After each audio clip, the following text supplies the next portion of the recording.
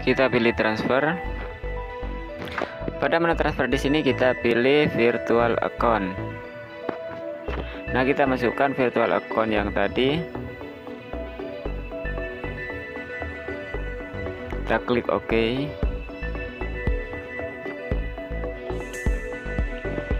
Nah transfer sudah berhasil. Sudah kita klik OK.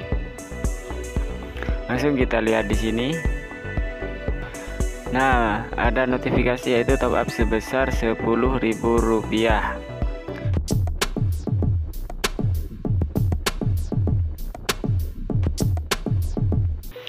Assalamualaikum warahmatullahi wabarakatuh. Welcome back to my channel. Kembali lagi di channel Rusdi Jambaran Pada video sebelumnya saya sudah membahas cara mencairkan koin Shopee ke akun Dana. Nah bagi teman-teman yang masih penasaran bagaimana cara mencairkan koin Shopee ke akun Dana Silahkan simak video saya yang sebelumnya melalui link di atas ini Atau teman-teman juga bisa lihat di menu deskripsi saya.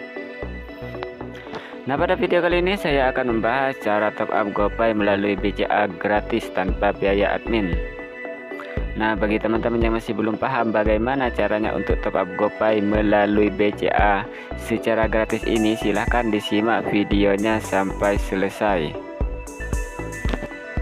Baiklah langsung saja kita menuju ke tutorialnya. Silahkan disimak baik-baik. Baiklah sekarang kita cek dulu saldo GoPay nya Nah, di sini saldo GoPay saya yaitu Rp20.000. Selanjutnya kita menuju ke aplikasi buku kas. Nah, sekarang saya sudah berada di aplikasi buku kas. Selanjutnya kita langsung menuju ke menu lainnya.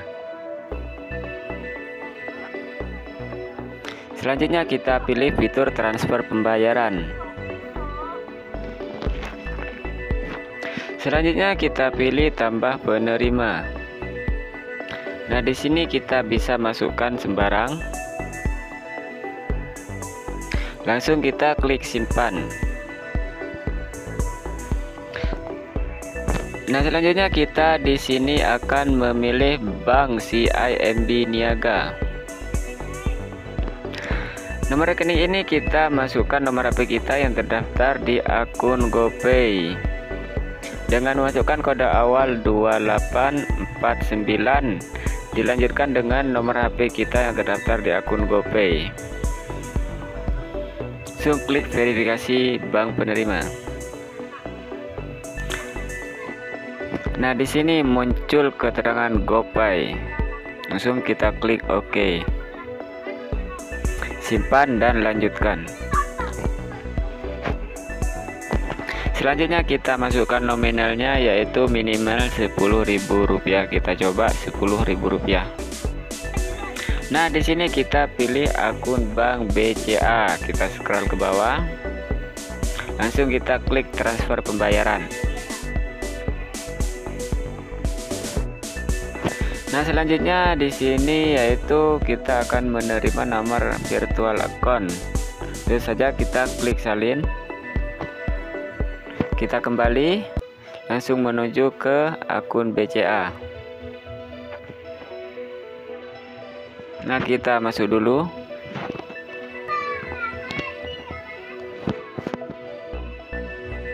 Kita klik login. Kita pilih transfer. Pada menu transfer di sini kita pilih virtual account.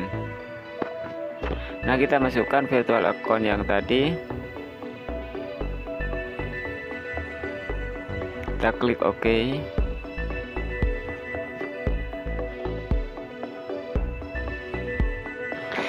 Nah di sini sudah ada tagihan Rp10.000 dari buku kas langsung saja kita klik OK. Kita masukkan pinnya.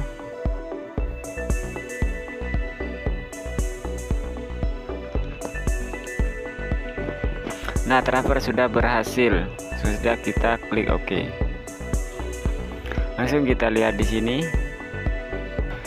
Nah ada notifikasi yaitu top up sebesar Rp10.000 Nah selanjutnya kita cek akun GoPay nya